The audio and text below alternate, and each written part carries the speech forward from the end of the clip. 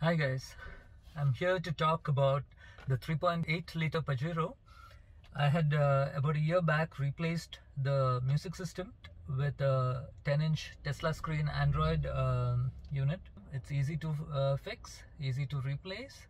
Uh, as you know, the original uh, Pajero has a Rockford Fosgate um, music system. This one is just a head unit which is getting replaced when you change into an Android uh, Tesla screen. The amp and the speaker remain the same. So uh, the power output is kind of the same, uh, but you get the added features of um, playing videos or uh, or you can install any number of apps. Since it's an Android system, you can download and install apps onto it and uh, use it just the way you use your phone. And, and uh, one of the biggest advantage which I found was I could use, uh, I could download uh, Google's offline maps onto it and then use it. Uh, and in case I need to get traffic uh, update info, I just connect it via Wi-Fi with my telephone and then uh, I get uh, live updates. The unit has been there with us for over a year and I've used it extensively. I've got one issue that the AC controls sometimes don't work. It's a touch screen, it becomes unresponsive. You know that the original AC controls are huge chunky knobs which are easy. Uh, without looking at it, you can just uh, adjust the temperature or the fan speed and things like that. But in this being a touch screen, and being not so responsive sometimes it has a significant amount of lag and sometimes it just freezes up so i'm not really happy with the ac controls. That's one of the issue which we need to tackle today. So let me just show you how things work uh, so that you get a rough idea how uh, the controls and the system works in the 10 inch uh, android tesla screen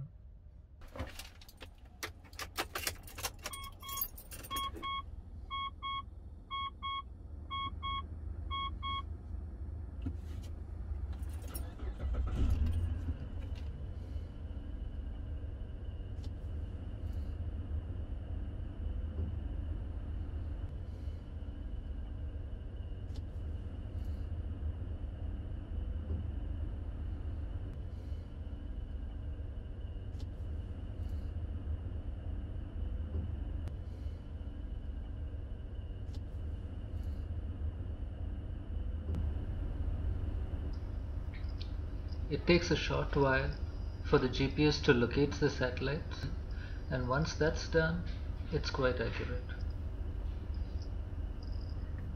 Let me just show you the number of satellites it receives signal from.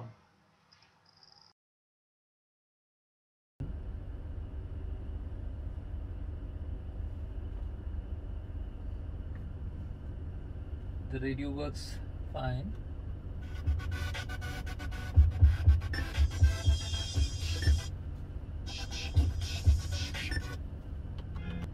The issue which I'm having is with the AC controls. So when I touch this, right now it's working perfectly fine. I can turn up my speed or up or down or the temperature up or down. Turn on the rear AC, turn it off. It's working fine. But occasionally when driving, it's not easy to control these controls to solve this issue, I need to remove the Android unit and then fix the old AC control unit. So one of the places where I can install the controls is right over here. Now nobody uses this card holder and it's one of the most hated features in the Pajero. So I need to remove that and try to get my old AC controls into that. Now to do that I will have to remove the unit and I'll have to remove this panel. And to remove this panel it's got two screws somewhere around here.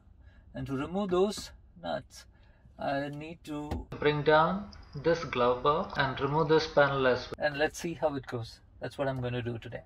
To go about this I've got this set of plastic removers which I've got from Amazon but I guess you could just use a flat tip screwdriver as well as long as you're careful not to damage the plastic parts. And I've got a Phillips head screwdriver. Uh, I guess that's all you need to go about doing what we are about to do today. First to remove this panel I'm going to remove both of these and we're going to remove it. Then I'm going to try to figure out where I can fix my old AC control. One of the places where I'm thinking is below this right over here but then going to be a little difficult because the dimensions are a little different. Probably I might have to do some cutting once I remove the card holder. Let's see how that goes. First let's get the head unit removed and then we proceed from there. To remove the head unit it's simple what we're going to do is we're going to just use this device fly over under that and gently start doing that all around. Now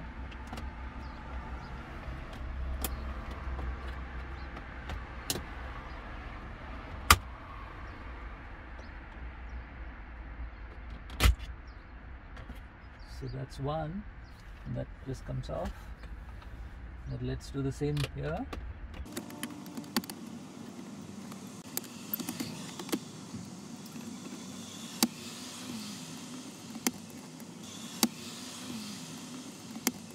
just need to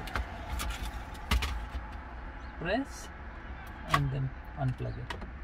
And leave it there. To remove the system it's better if I come on the passenger side and then I show you. It just is a press fit with those clips so you gently remove it. And then you need to remove the harnesses. First we're going to remove this is the AC control panel. So we're going to remove the connections for that.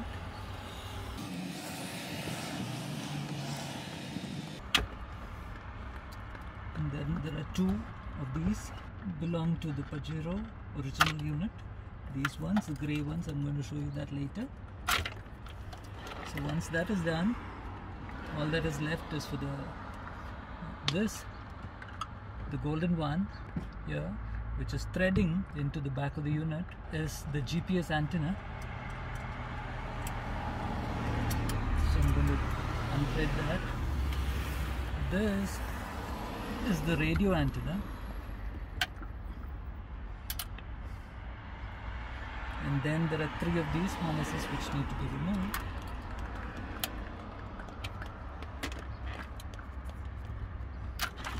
And the unit is up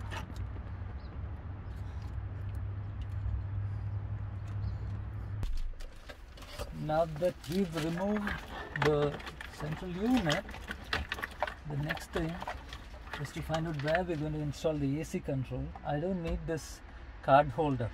So probably I'm going to remove that and then this is going to go in that position. This was the AC control unit used to sit here. That's where it used to sit. But then now it will have to be brought down a little lower shouldn't have an issue with the gear shift I hope. Now to remove the card holder I'll have to remove this panel. And to remove this panel looks like I'll have to bring down this glove box and this panel because there are two of those nuts in here. This panel is just a press fit again. So you, you, we use the same tool get under it and slowly bring it out there you go. And that reveals the three screws which are on it. There are two more screws underneath here but they're not screws they're nuts. So we'll have to get to them. This side panel also has to go. Which is again a press fit. Use the tool. And then it's got two legs which go in. So gently that out and this panel comes free. Okay let's remove these screws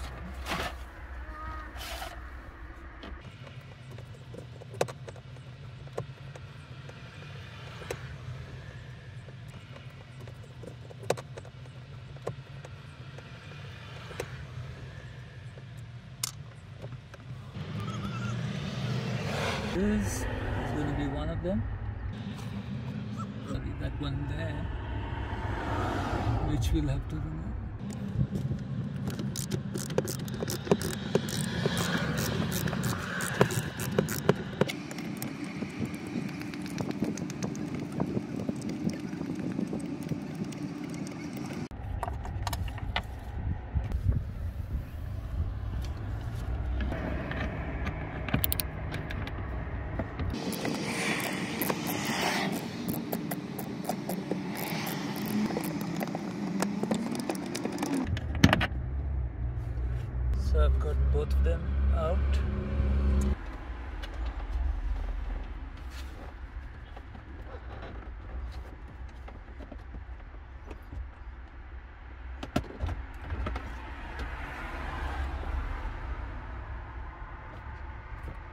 so to get this panel out this is the screw which I was telling you about. So we need to undo that one.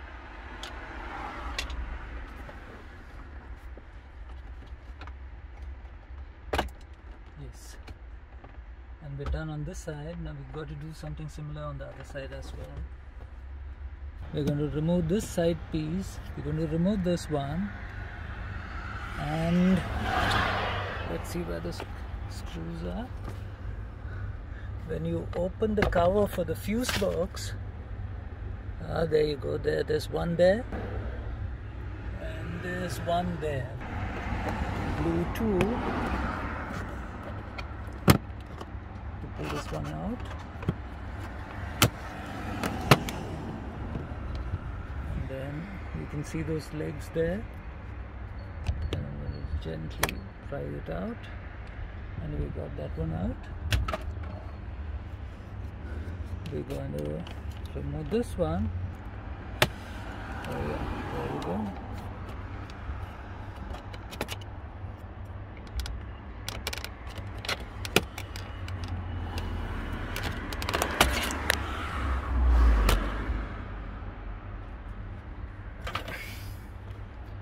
There are no screws hiding under this so that means once we get the screw which is next to the fuse box this side should be free. And that one once I remove that screw probably it's all press fit again over here. So let's try and do that now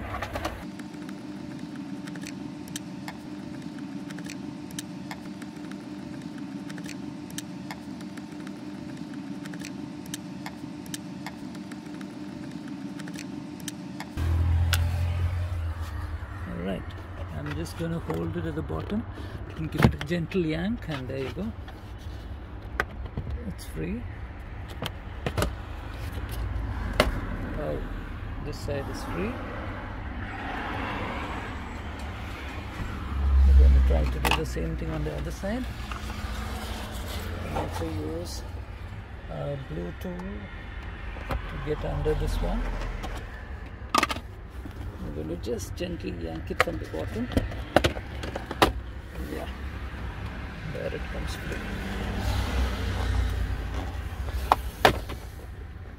That's it. We just need to expose this area just to get to this one particular screw. And once we're done that, we can open this panel.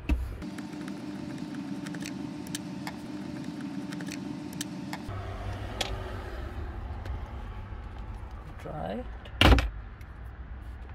Panel 3 to get this panel out.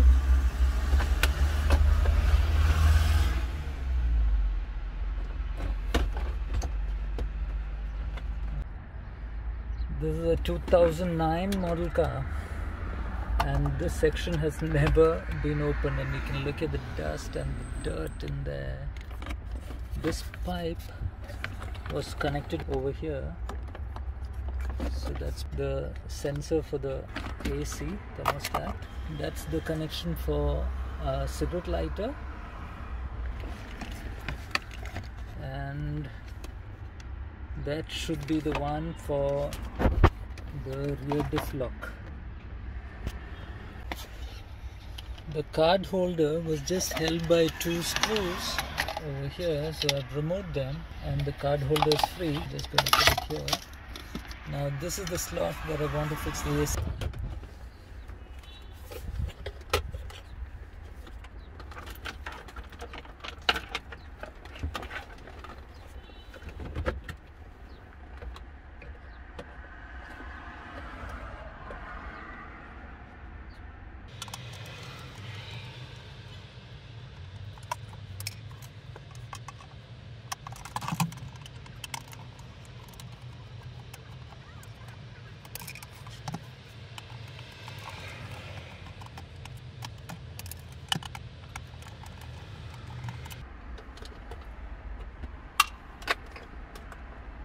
Yes. So the outer panel is out so we don't need that occupying any more space. So let me see. I'll have to cut these legs. So we're to cut these. I've got a hacksaw blade here. Let me see if this does the job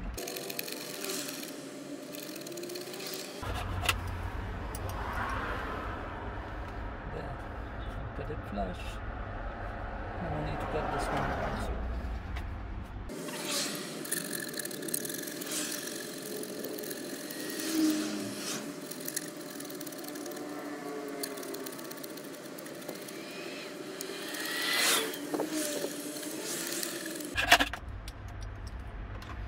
So we got both off. And we got to see if it. The tapered part is too wide for, to fit into this. So I didn't think I want to cut this one. I would rather cut this one since we already sacrificed this and this unit is going to be thrown out in case things don't work. As you will notice, there's a part missing. That's the interface between the, uh, the control and the AC unit. Now that part was transplanted into the, the Tesla unit. I'm going to show you how that can be brought back. So this is the back of our Tesla screen unit.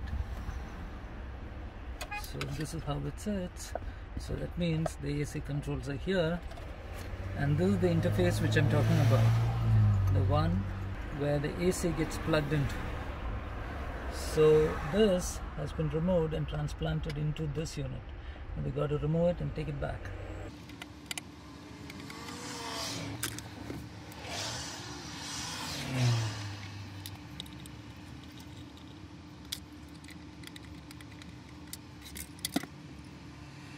That's a press.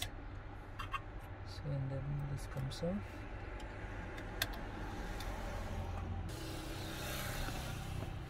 going to remove the circuit board.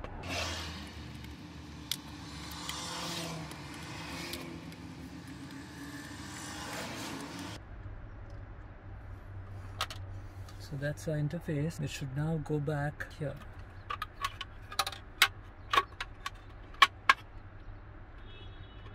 I've just cut this this way so that now the entire thickness the taper part is gone and this hopefully should go in. And at the same time it's still retaining the screws the screw holes for putting this PCB back. So now I'm going to make the connection and do the installation part of it once more. Yes. That's it now I need to it onto this.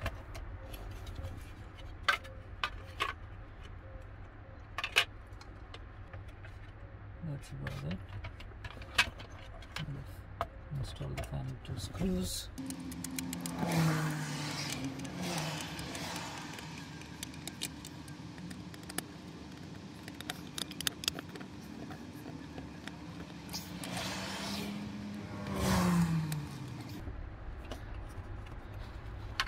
so that finishes that.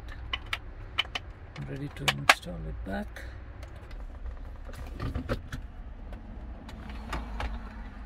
Wow, it fits perfectly. Can be screwed down by two screws. There's only one problem. It'll never go into park. It's fine up to reverse.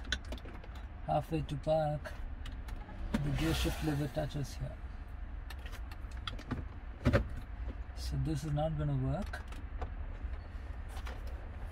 So realizing the waste of time I've gone back and removed this circuit board and install it back into the Tesla unit and then we're going to reinstall everything else now back how it was. The card holder is going to be coming back.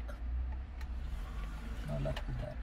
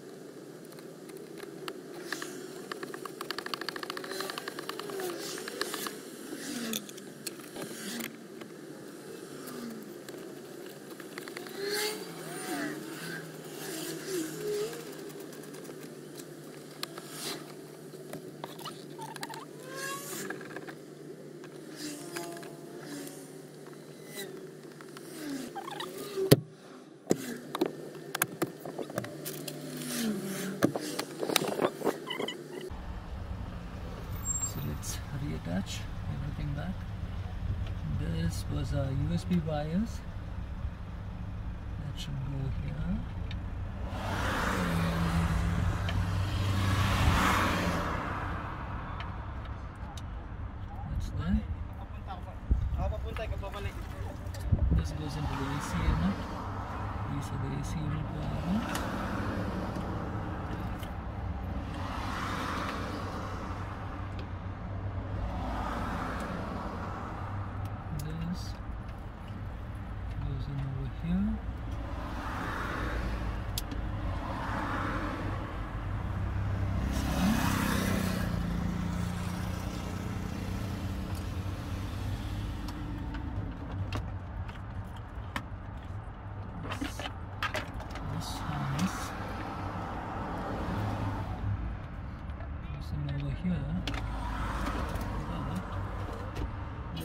Is this harness. Now this is a spare harness. This is the output RCA cable of rear right front left. So these are the four channels. And this blue tip is the amp power to turn on the power of the amp though we don't need it right now I'm going to leave it there. In case we need it at any stage we can always use it later. So let's just hang there at the back of it. No harm done. Then we will put the last bit back so that finishes our installation. Now we need to connect the GPS antenna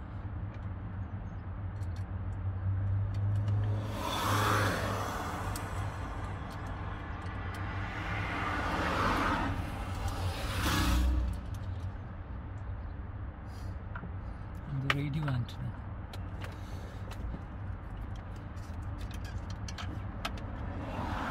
It's done. Now the AC section. Before this one, we need to get our two harnesses. These two grey harnesses. The small one first. Let me get these out of the way. That, yeah. The small one goes in first. the grey one, large one.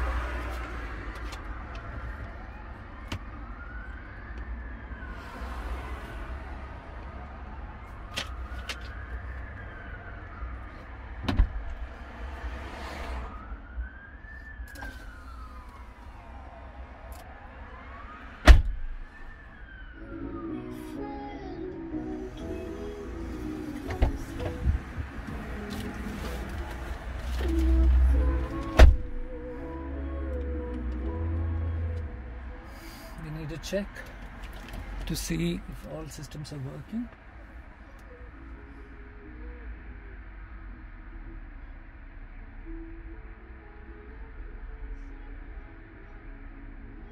Okay, it's located where we are, so the GPS is definitely working. I know that. Looks like one of these doors are open. It's the rear back door which is open. So let me go close that.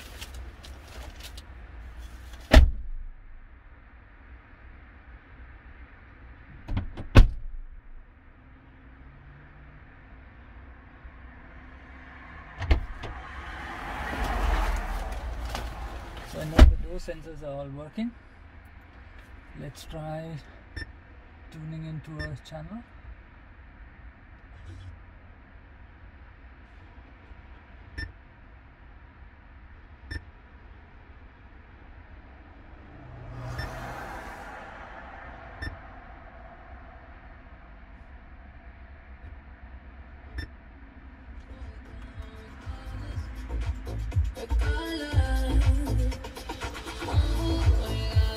steering controls are working.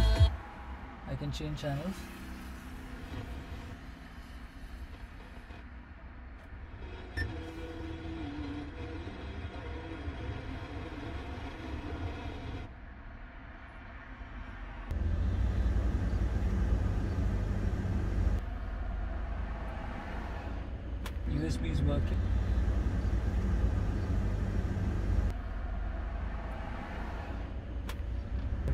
camera is working.